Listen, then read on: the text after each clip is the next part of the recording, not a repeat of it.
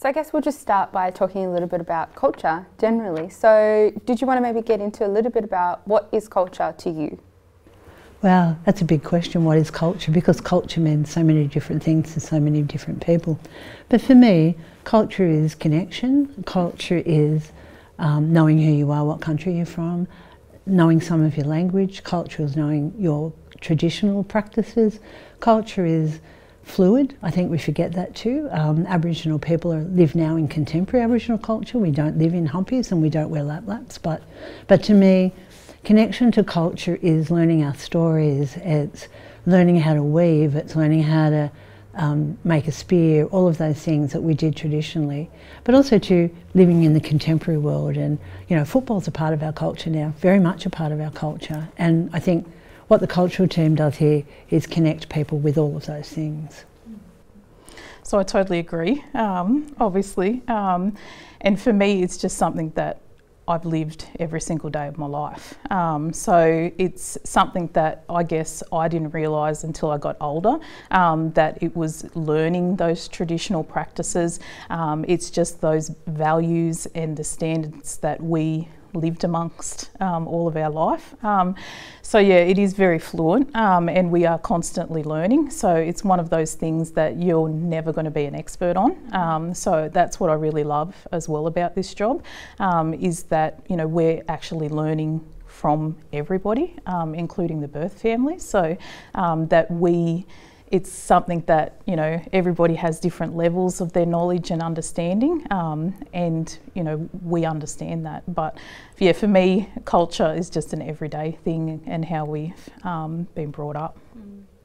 What do you think it means for the children in care to be connected to culture or to hear about their culture? For me, um, connection to culture for our kids is it's everything. They have to be connected. It's what Tintinara was saying. We, we have lived that, we've lived that experience our whole life and we want our kids to be able to live that experience because if they don't, you know, they're going to they're going to start questioning when they get older. They're going to start asking, what, why, who am I, where do I belong, and what's my connection? And I think, you know, kids love doing all the cultural stuff. They love, they do. They love, you know, ochre. They love painting themselves. They like dance. They, you know, and I think those things connect you to everything. If it's your song, you know, if it's your, um, you know, how your aunties weaved, how they taught you how to do that, so that we can teach our kids how to do that. How, what the stories are that go with the country. What are the stories about the ocean? What are the stories about the whales? What are the stories about turtles? Um, Tintinara's family eat turtle. They still eat turtle. So, do you know, I mean, I think those kind of things and about, you know, that you do skin at kangaroos. They don't come from KFC. They actually have to, you know, you have to actually take the fur off them. Um, and, you know, for them to be able to do that, make axes. They, we've done cultural camps where they've done that, where they've made coolamons and they've made um, shields, they've made canoes. All of the things that was a part of our history for thousands and thousands of years because that's definitely what we try and bring. Um, it is the traditional learnings, but also with the modern day twist on it. So um, we're very big on connecting the kids um, to their family, um, to their country. So we often do um, return to country trips with kids. Um, so how we kind of look at it is it's kind of like the aunties and uncles just taking the kids back to family. So we very much, you know, network with the local communities that we're like engaging with. Um, we consult with the elders. Um, we, you know, discuss, um, you know, welcomes and make it a really enriched um, process where they get welcomed um, onto country. We do like significant site tours, um, more so that the kids know who they are and where they come from. Um, you know, we actually have um, one of the my favourite stories is um, one of our young people he was probably about 14, 15. He was a bit hesitant. I was organising a return to um, country trip. He was a bit hesitant of wanting to go. Um, so, you know, I went and spoke to him and he said, you know, Arnie, I actually am a bit ashamed of being Aboriginal. And I was like, okay, well, you know, tell me more. Like, mm. let me understand why. Um, and he said, because, you know, I just see like Aboriginals as ones that are doing negative things. And I said, well, give me one week and let me show you what you're seeing is not what Aboriginal's about. Mm. Um, and I said, let me show you what is out there. Um, and within that week, the transformation for this young boy um, was dramatic mm. um, to the point that before we left, and I'll try not to tear up because I always do, um, before I left, he's like, Arnie, I'm home. And I was like, yes, you are. And he said, um, I'm a warrior. And I said, You come from a long line of warriors. So he got to hear those stories from the elders, from the community, um, and now his projection in life is dramatically different. Um, so he has been able to gain so much value um, about his identity through his culture.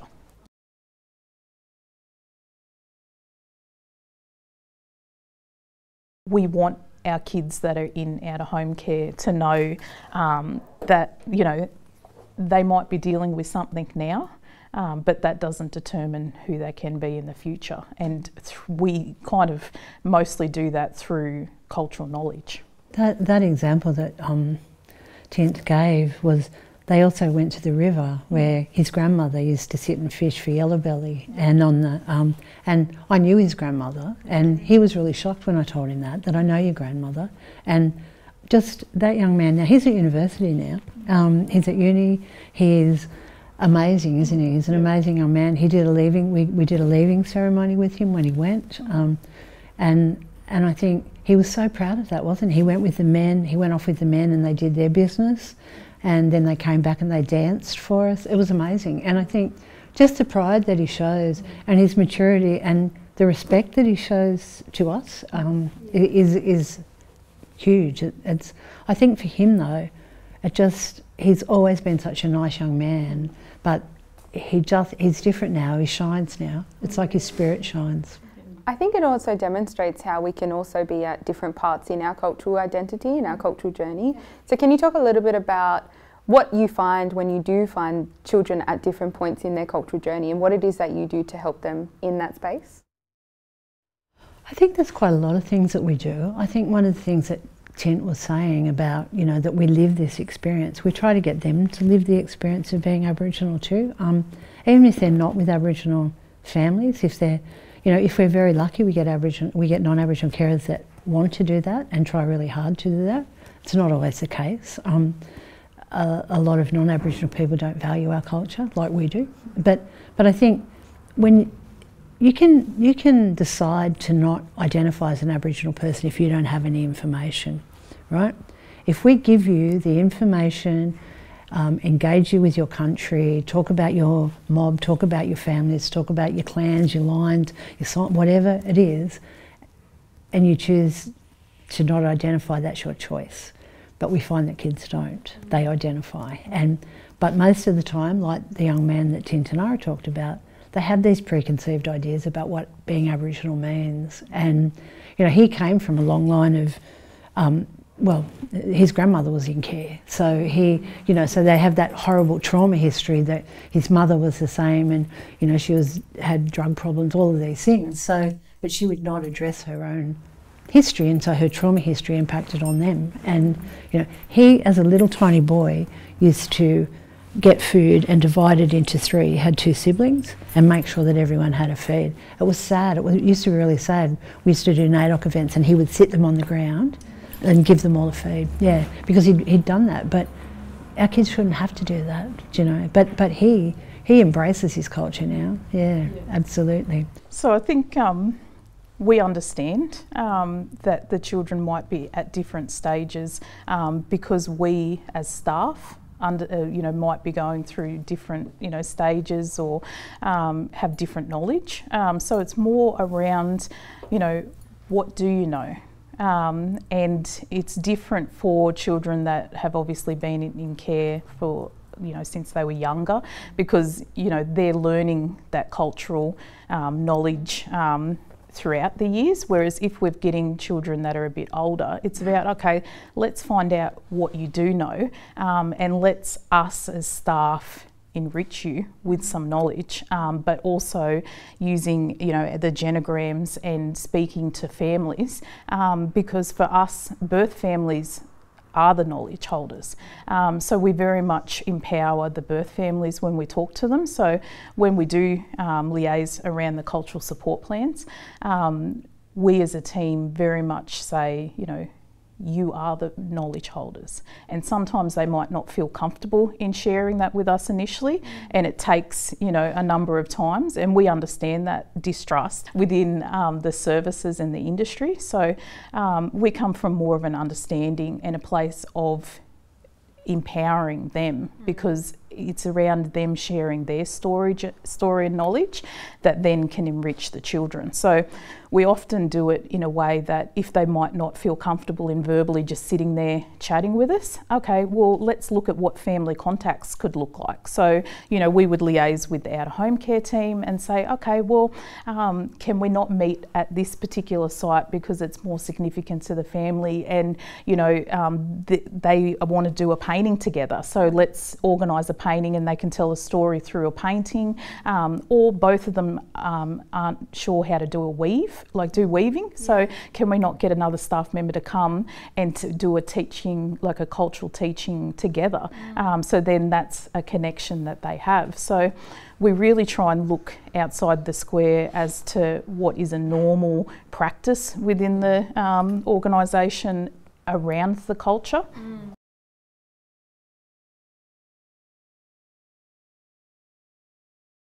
I think what's interesting for me is sort of what you touched on earlier around this concept of, you know, you have traditional culture, then you've got this modern adaptation of what we've held on to in terms of our traditional culture. And then I guess I'm also hearing that there's a difference in experience when you're in care and engaging with your culture in that context. Yeah. Is there anything you wanted to talk about in the sense of what's the difference between learning culture in care versus the way that we've learned outside of care? If if Aboriginal children aren't with Aboriginal carers, how you know how do we how do, how do you know about your Aboriginality? You learnt that from your family. You learn it from your extended family. You learn it from the gatherings that you had. You learn it from, as Tint said, you live it every day. If our, our kids don't live it, and some they don't live it every day. So the difference is that we have to invite them into learning about who they are and what where they belong there, and and what it is that makes them special as an Aboriginal person and what, what I guess they can do to share their Aboriginality with other people. Because a lot of our kids now learn a bit of language, so they teach the other kids, and um, you know that's great. That's an amazing thing, and I think we at times. Um, you know, one of the groups, and I think Tint's done some of these, are girls that go out. They go out to Southwest Rocks, and they they do whale. They do. They learn how to do the whale dance to call the whales in, and they um, they then they do the Brolga dance. They learn the Brolga, but it was amazing because they did it at night and they had these big glowing wings, and it's it was spectacular, wasn't it? It was absolutely. So I guess there's a lot of I guess they're very strong in culture. Um, the Southwest Rocks um, Aboriginal community, and they are very willing to share that with kids, and I think that's where we like we link in, as Tint says, you link into those people that can do it. It is that whole thing about we know each other, we know the communities, we know where people sit. They don't know that. They don't know that. And you know, we have we've got one person here that we call the the um, Dunghutti Bugle because she knows everything. Like you just go and ask her, blah blah blah blah blah. Yep, that's Honey Jane and blah blah blah. So do you know? I mean, I think the knowledge holders too, sharing that knowledge with kids and young people is, and even carers, carers surprisingly actually really enjoy learning it, about it sometimes, and yeah. Also, for me, like I can see that there is a difference. Um, obviously, when a, a child um, is learning about culture in the out of home care versus with their family, um, we as an agency, and, and Denna said it many times, that we obviously would prefer the children to be um, at home with family if it's safe. Um, so we, yes, they might be missing out on, um, you know, that learnings, but that's where we're trying to improve that and make the families and the community feel comfortable engaging with us. Mm. Um, but like Dana mentioned, there's like a hundred and something staff. So for me, I think that the kids have got a more rich experience um, that they are learning from 130 more aunties and uncles um, and those positive role models um, that are empowering them um, to share their knowledge um, as well as receive it. So, yeah, we um, obviously they would get a different experience, um, but we're hoping to close the gap um, and make it more enriched. We had a young person that left care. Um, and she went to our future planning service after here, and she said to the um, person up um, Nat up there, um, "I used to hate Burrun Dalai. I hated you." And she said, "You know what though? You have been the only people that have been in my life consistently and always been there for me," yeah. which is a kind of nice thing to know because. You know, usually we're called lots of different things, very colourful language. Mm. Tint's been called a good few. Yeah. um, and it's because they, I think because we're all seen, and you'll hear us referring to each other as auntie and uncle, mm. yeah. um, we really do hold that to a high standard, mm. that we are these children's aunties and uncles, whether it's biologically or not. Um, and that I think, you know, where we live in the same community. Um, you know, we will see each other on weekends. That to me is special because um, we are held accountable, and so we should be, um, to not only the, the birth families, the community, but we're held accountable by the kids. Mm. So I tell you, if, if we said we're going to do something and they see me walking down the street, I need 10. so, um, but that's what it should be like. Yeah. Um, and, it's, and that is part of that that cultural values yeah. as well is that you know we we also value everybody's voice similar mm-hmm. so we have that within the organization that Dena, as the CEO, deems herself not as more important than anybody else mm-hmm. within the organisation, and our voices are all as special as hers. But we we do that for our children too, mm. is because each one of their voices are very important to us.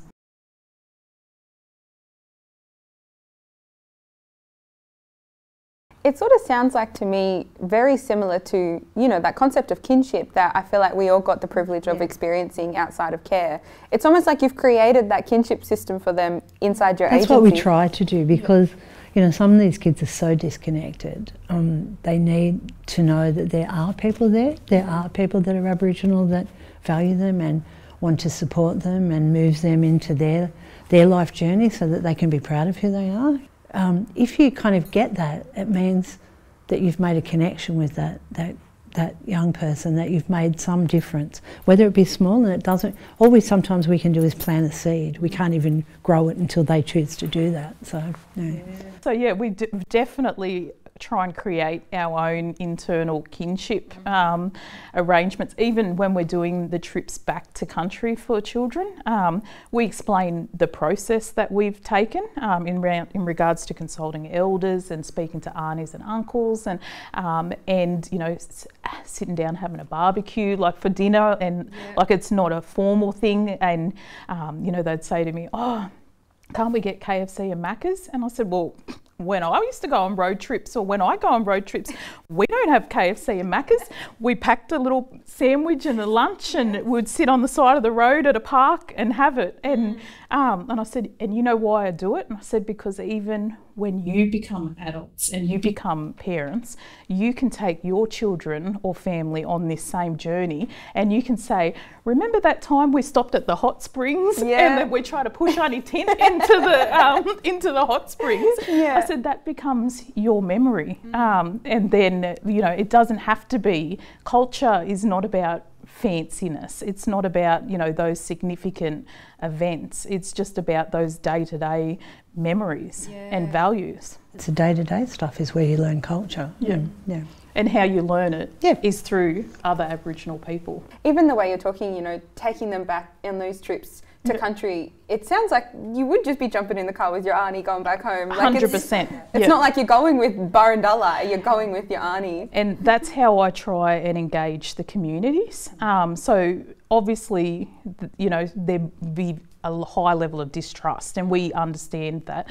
Um, and that's how I like to explain it to the community because um, they're like, oh, do we need to have our working with children checks and police checks? And I said, well, we will do our own risk assessments, but how I see it is it's just some aunties and uncles taking kids back to meet up with you. Um, let's just chuck a big barbecue in the um, which park, and I said, get the family to come, and we will do our own internal like risk assessments that you know we will be making sure that the kids are safe and being observed like they are in normal family contacts mm. but from the community's point of view they've just got kids coming back having a feed, having a play with their, their cousins and their extended family. Um, so it is just aunties and uncles yeah. bringing them back. Can you talk a little bit more about that process that you go through when you're planning those trips to country? You know, there's a lot. Um, yeah. only because in you know we've already protocols. we've already talked yeah. about this around you know those community cultural protocols that are the basic foundation that we need to follow. Um, and then I understand and take into consideration each country is different, each tribe, each family. Um, so obviously it's around consulting with the elders within the community. It's it's consulting with local Aboriginal organisations. Let's find out from the family who do they believe.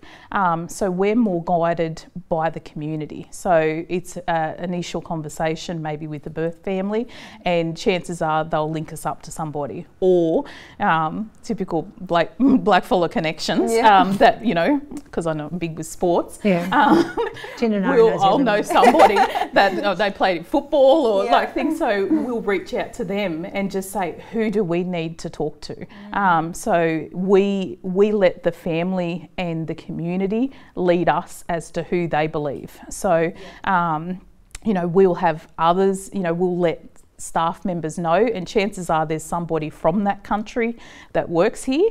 Um, and it's like, okay, let's get everybody in and let's come up with a process. So let's, you know, consult with the, the elders so we can do it the right way of getting welcomed onto country because I certainly am not going to other countries and not getting welcomed on there appropriately. Um, mm-hmm. Let's do it like a little, you know, ceremony of where they're getting smoked and where the kids are getting welcomed back.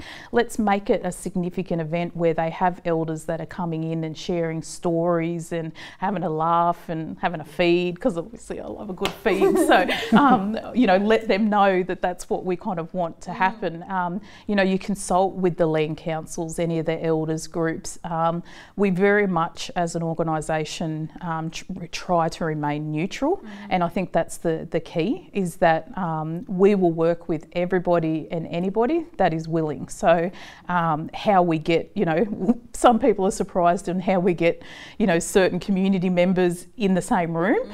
and how we do it is through respect. Um, and we're respectful of each individual, but the focus is always on the child. Yeah. So, what's in the best interest of the child? So, it's those things that we kind of let's consult with everybody yep. and then let's come up with a plan. And then chances are, like, people will want to work with us because they can see we have the child's best interest at heart.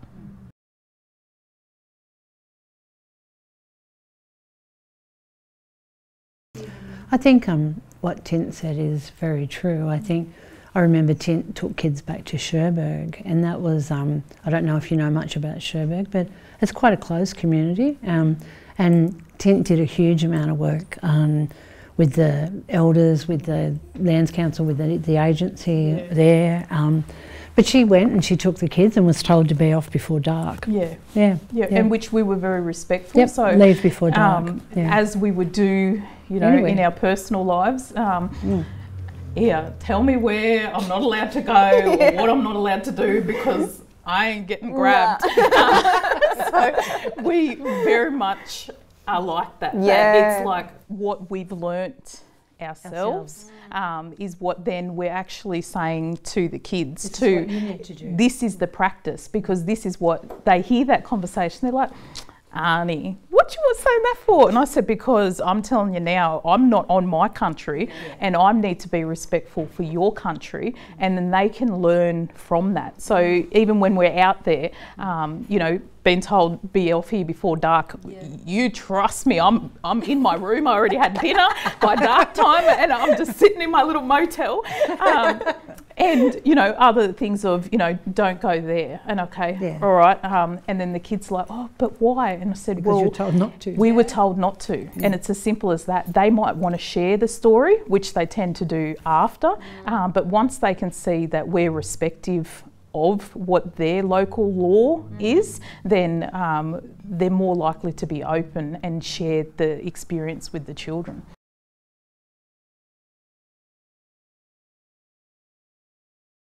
You know, there has been times where, you know, we have community members that think that we did was great.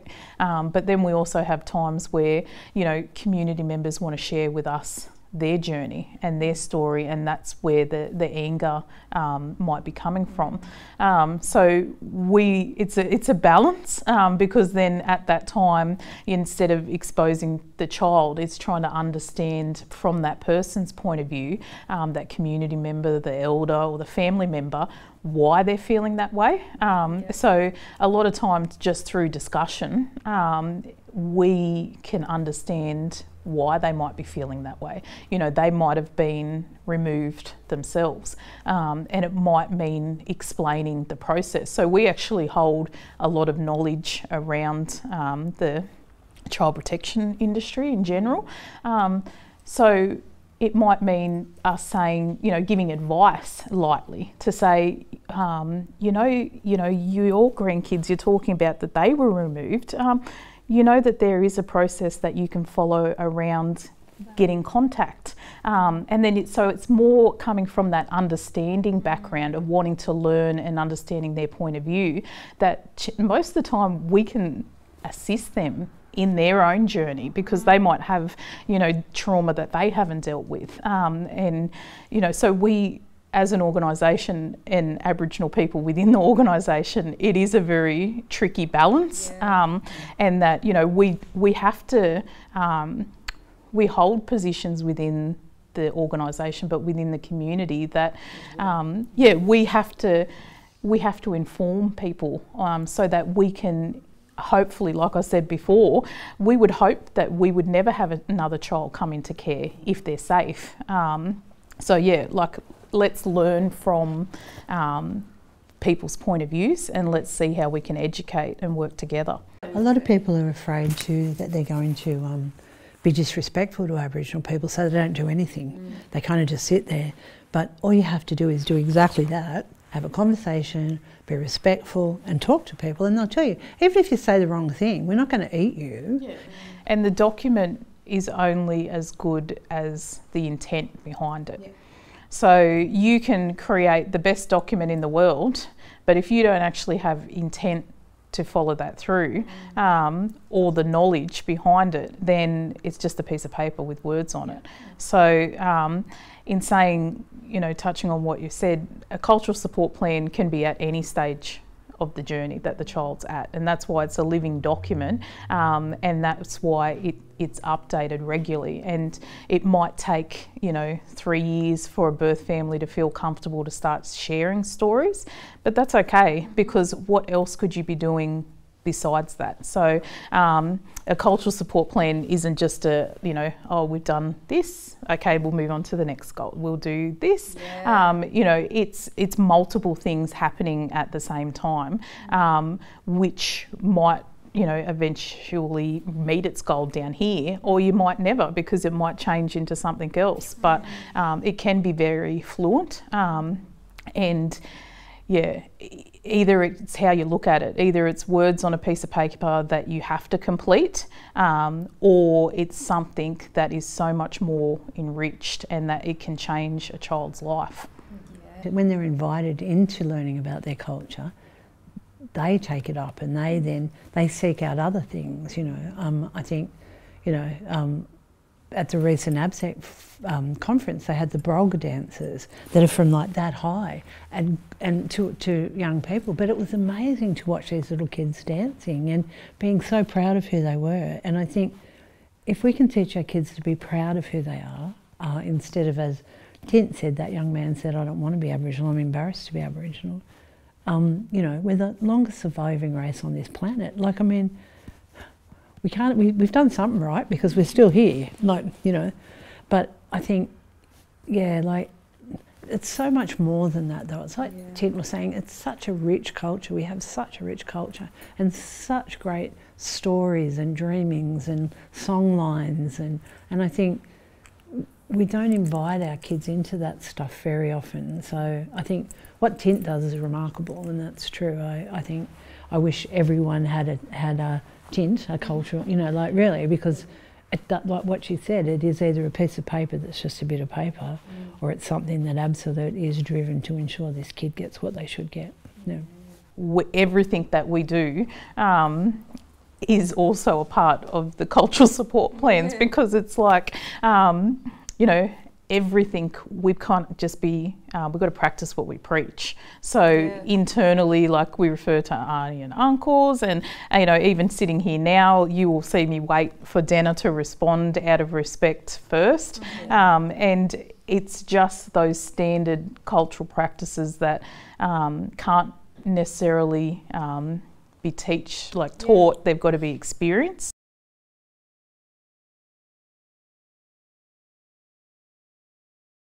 simple things that like non-Aboriginal agencies um, or people can do is just yeah. part of that respect. Something simple as, you know, goodness forbid an elder is standing in your waiting room because there's nowhere else to sit. Mm. You know what? You go and get your chair out of your office and you take it out to them and let them sit on a chair. Mm. Um, you offer them a cup of tea or a cup of coffee or a um, a cup and don't put it in those little plastic cups. if you, yeah, if you're using um, an actual cup like a mug, like a mug and you're walking around with a mug, you get them a mug. Mm. Um, I don't care if you have to go down to the street and buy one because that then is so disrespectful mm. and it comes back to that cultural knowledge and understanding yeah. why they might see that it's disrespectful. The thing is, and my dad always raised me to believe you treat people the way that you want to be treated. Um, and I think people forget things like you were just saying, like You've, here, you have this plastic mug art. I've got this cup here. Now, what are we going to do? You know what I mean? Those things about, and for elders in our community, if they're treated respectfully, which they should be, they respect you in return. You know, we, Aboriginal agencies differ very much in the fact that we have anything come in the door. It doesn't matter whether it's to do with the out of home care sector, foster care, whatever. People will just come here at times to have a yarn about something and or they'll ask for someone, can I talk to them? I really want to do this. That's the difference, I think, between Aboriginal and you can actually get in the door too. Like people will let you in and sit down on the lounge. And if you want to work with Aboriginal people, it's like I say, treat them the way you want to be treated. You don't, yeah. you know, we aren't any different to you in that regard. We do have feelings and we do get offended and we do get, you know, if you're treated like a second class citizen, you'll behave like one.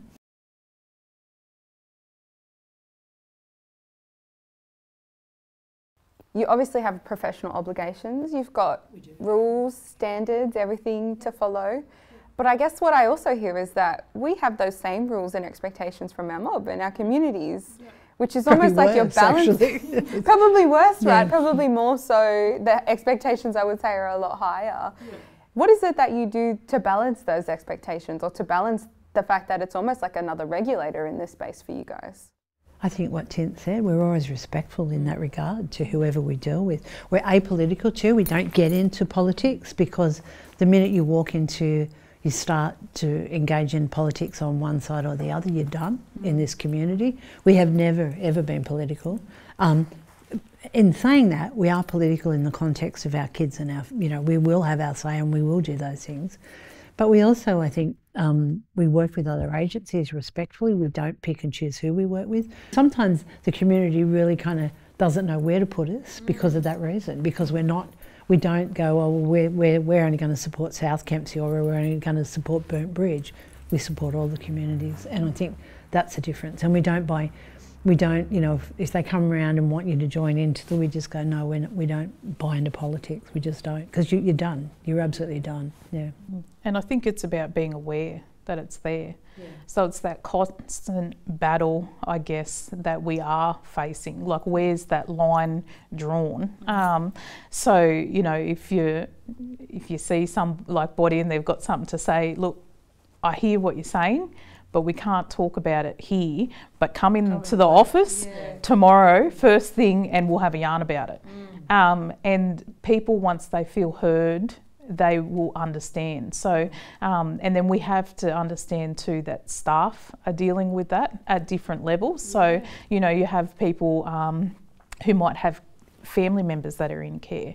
Um, we have, you know, might have people that are on country, you know, working amongst their families, um, and people that are off country um, but have families here. So it's about us getting to know the workers and the team as well and understand and help them through that process because it can be difficult. Um, and you know, we do get complaints um, around things, and it's just trying to support the team through that and understand. Okay, well. What have we done? What can we do better? Um, you know, yeah, you probably shouldn't have like reacted. So what can we do next time? Yeah. Um, so, but it's about at least acknowledging it so that um, you kind of know as managers and executive teams that, okay, well, this is going to be a bit sketchy for this worker, so let's send this one out. Yeah. Or let's have a conversation and a debrief with this person before they go and after they return, um, because we knew that this was going to be a bit of a full on day for them. Or, you know, they've, they've got abused on their way back from lunch. Um, okay, let's sit and debrief about that. Yeah this is our living and breathing community. So they're vulnerable wherever they go. And you know, whether we have never removed a child ever, and we never would, but we still get called black docs at times, you know, and they have to live with that. And look, I admire the staff because they do. They just, you know, um, not don't want to talk about it now. Not my, I'm out of work. Um, but you know, they also ring up and go, like I was saying, are they drinking up the pub? Well, they're allowed. They're allowed. They're not on call. They're not at work. They're allowed to have a drink. Yeah, yeah. So you hear it all the time, and I think, yeah, but I think exactly what you said is really important. I think, um, you know, that they walk a very fine line, Aboriginal workers, and I don't think non-Aboriginal agencies understand quite what that's like. Yeah. If they're not happy, they're going to let us know, yeah. um, and you know, people are from the community, so they, you know, people know where we live. Um, they know where oh, yeah. you know where yeah, we go shopping. Live, yeah. You know, like, I can hide in the pea yeah. we get the funny comments from some of the, you know, the community. Yeah, Burrun Dalai there. Oh. yeah, Only because it's it's not as a, a negative, yeah. but just as ah, that thing, like you know, they know you. Yeah. In mm. non-Aboriginal organisations, you can take your uniform off, mm. and chances are people aren't going to know where you work or what you do.